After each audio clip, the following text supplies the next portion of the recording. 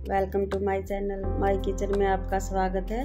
आज मैं आपके लिए लेकर आई हूँ कुरकुरे चटपटे करारे फ्रेंच फ्राइज़ की रेसिपी इसको घर पर बिल्कुल आसानी से बनाया जाता है। फ्रेंच फ्राइज़ को बच्चे तो क्या बड़े भी खाना पसंद करते हैं। इसको बनाने के लिए मैंने यहाँ पर तीन आलू लिए हैं। अगर आपके पास पहाड़ी आलू हैं तो वो और भी बेटर हैं। उसे और भी अच्छी फ्रेंच फ्राइज बनती हैं। मैंने सिंपल आलू लिए हैं। और इस तरह के आलू लेने हैं, थोड़े फ्लैट से और बड़े आलू लेने हैं, जिससे फ्रेंच फ्राइज लंबी लंबी अच्छी सी शेप में कट जाए। और ये देखिए, इस तरह पहले छील लेना है और छील के साथ में पानी में डाल देंगे। पानी में इसलिए डालना है ताकि जल्दी ही आलू का कलर चेंज ना हो, क्योंकि आलू काटने के बाद काला पड़ जाता है। इसलिए साथ में ही पानी में डालते रहेंगे और छीलते रहेंगे। इस तरह से सभी आलू को छील लेना है। आलू छीलने के बाद अब हम कटिंग करेंगे। इस तरह से एक आलू उठाएँगे और पतली पतली स्लाइस में कट कर लेंगे। ना ज़्यादा मोटी और ज़्यादा पतली भी नहीं होनी चाहिए। अब दूसरी साइड से इस तरह से कट कर देना है और जो साइड के पार्ट बचे हुए हैं, उनकी भी कटिंग करेंगे। उनका भी साथ के साथ इस्तेमाल करेंगे।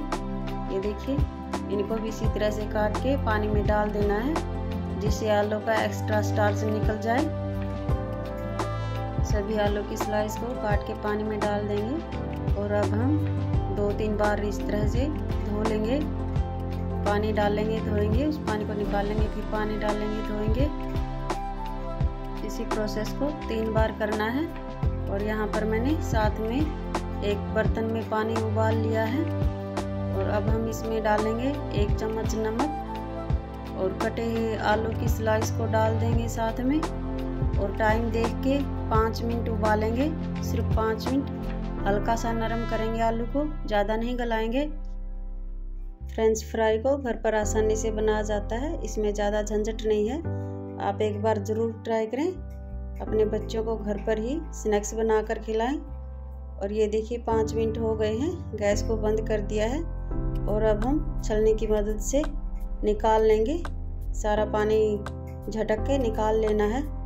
अगर आप मेरे चैनल पर पहली बार आए हैं तो सब्सक्राइब करें, लाइक करें, ज़्यादा से ज़्यादा शेयर करें। और वीडियो पसंद आती है तो कमेंट करके ज़रूर बताएँ कैसी लगी वीडियो। और बेल को प्रेस करना ना भूलें। इससे मेरी नई नई वीडियो के नोटिफिकेशन आपके पास पहुँच जाएँगे। और निकालने के बाद हमने एक सूती कपड़ा लेना है या कोई टॉवल लेना है, तोलिया उसके ऊपर रख के अच्छे से पहुँच लेना है सारे पानी को और एक प्लेट में रख देंगे अलग अलग करके और हम आधे घंटे के लिए पंखे के नीचे रखेंगे। आधा घंटा सुखाना है हमें ताकि जो पानी इनके अंदर है वो सारा सूख जाए। इस तरह से अलग अलग करके सिर्फ़ आधा घंटा रखेंगे। और ये देखिए, आधा घंटे के बाद बिल्कुल सूख गई है।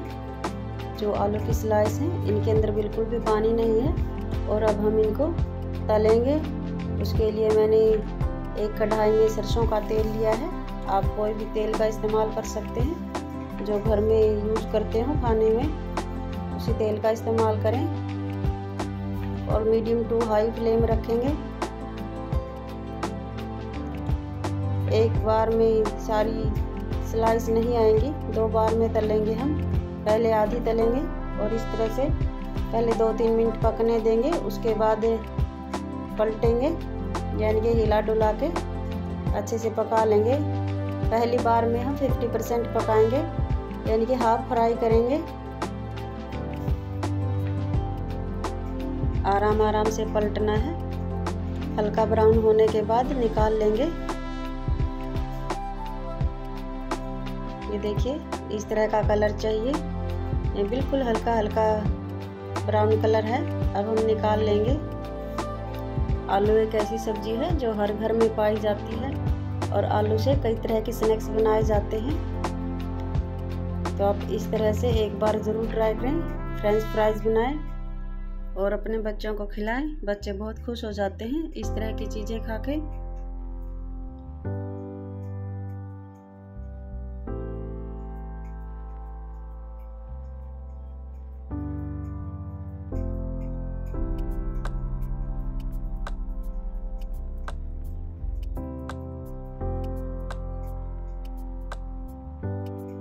अब हम जो बाकी की बची हुई है, उनको भी पका लेंगे, इसी तरह से डालेंगे और इसी तरह से हल्का सा ब्राउन कलर करेंगे और निकाल लेंगे।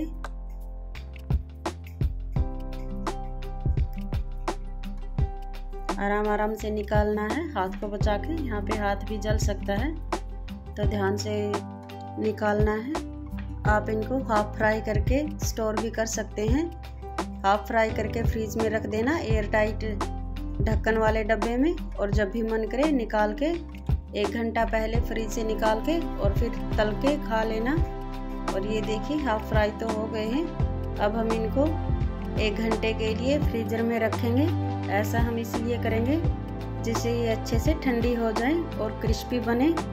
और एक घंटा होने के बाद तेल को फुल गर्म करेंगे, और दो बार में उसी तरह से अच्छे से क्रिस्पी होने तक पका लेंगे। फुल गरम तेल में ही पकाना है। अगर ठंडे तेल में पकाएँगे तो इनके अंदर ज़्यादा तेल भर जाएगा और वो टेस्ट नहीं आएगा।